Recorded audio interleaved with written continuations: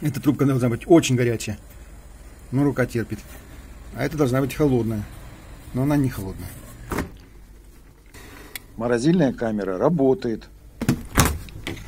А холодильная не работает. Холодильник индезит. Двухкамерный. Все, что нам нужно знать о холодильнике, можно посмотреть. Вот фильтр вообще холодный. Эта трубка должна быть холодная, но на самом деле она комнатной температуры. Меняем фильтр, перезаправляем. И если ничего не поменяется, значит проблема в компрессоре. В данном случае нужно просто поменять фильтр и заправить холодильник заново. Чем мы сейчас и займемся?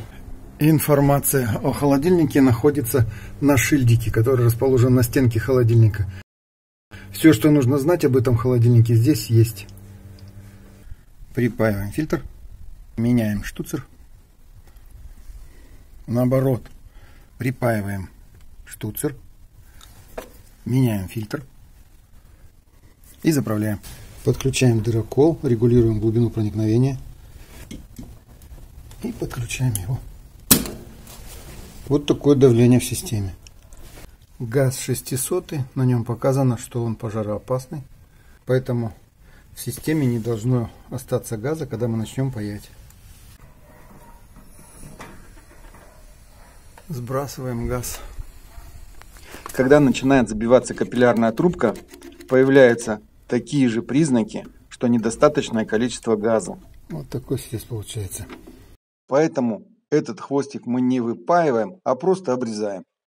Потому что именно здесь может образоваться засор трубки. Трубку выгинаем для того, чтобы не спалить корпус холодильника. И будет так работать удобней. Прогреваем место пайки и удаляем старый фильтр. Затем точно так же прогреваем и удаляем заправочный хвост. Еще его называют аппендицит. И вместо него вставляем многоразовый заправочный штуцер. Но прежде чем припаивать штуцер, обязательно нужно вытащить из него золотник, чтобы не расплавились манжетки. Если во время пайки мы не используем экран, то очень важно смотреть за тем, чтобы пламя было направлено в сторону от холодильника. Если у нас диаметр входного отверстия фильтра и трубки не соответствует, можно сделать переходник. Но если и диаметр переходника не подходит,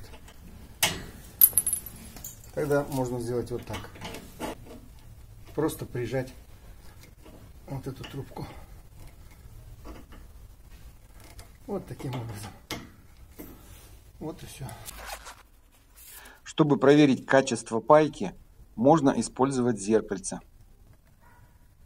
При помощи зеркальца мы можем разглядеть, что вот этот стык у нас не запаян. В этом случае еще раз прогреваем и пропаиваем место стыка, чтобы припой слился с металлом в одно целое. Соединение железа и медь – это на конденсаторе. Паяем специальным припоем, содержащим большое количество серебра и покрытое специальным флюсом.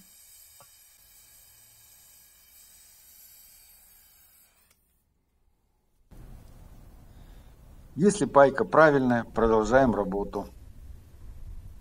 Поскольку кроме фильтра мы ничего не меняем, то можно продуть систему. Проверить на проходимость фильтр, выдуть оттуда продукты нагрева, убедиться, что капиллярка не забита и через нее проходит газ. После этого капиллярку припаиваем к фильтру. Но сначала делаем вот такой изгиб. Чтобы было видно, как далеко трубка зашла и перемещается она или нет. Теперь подключаем баллон, из которого будем заправлять. Фильтр у нас запаян, штуцер запаян. Подключаем, заправляем. Этот баллон переворачивать не нужно, потому что он работает именно так. У него трубка идет вниз и жидким газ поднимается сюда.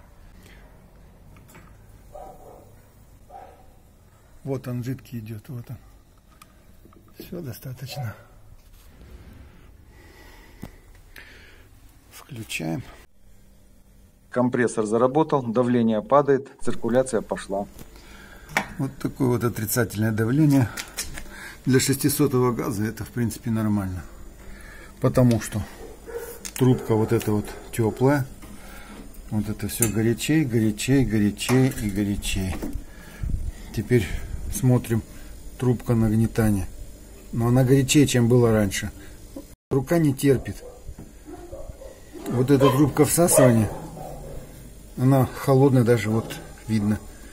Испарина на ней появляется. То есть работает нормально. Смотрим внутри. Здесь замерзло. Ну, здесь все, все полки протянуло. Все нормально.